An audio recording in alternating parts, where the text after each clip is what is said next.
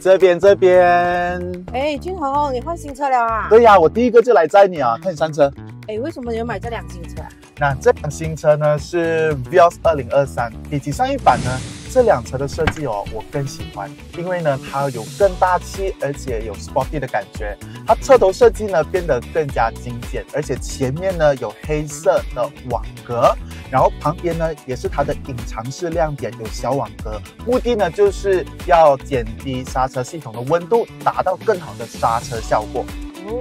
车身有象征速度的线条感，车尾的部分采用了类似 fastback 设计。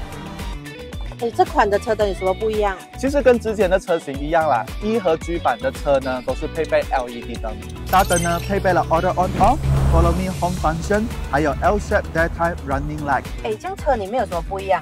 不一样啊，我觉得它提升蛮多的嘞。相比其他 B 级的车啦，我觉得它更有质感。因为这一代的 Vios 它用了更多像是皮革的材质，也有这样 plastic 的感觉了喽。哎，它的唱机怎样啊？我需要那个 Apple CarPlay 嘞。Apple CarPlay 是吗？有，都有，而且还有 Android Auto，而且它的按键哦是在右手边，对于我们驾驶者来说非常方便。再加上它的这个唱机设计是浮悬式的，很 atas 的感觉。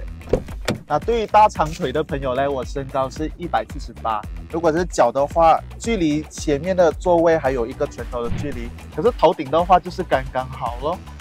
那现在我就要带你试驾。我喜欢这辆车的特点就是它的车身很安静，走平路的时候那个感觉比较舒服。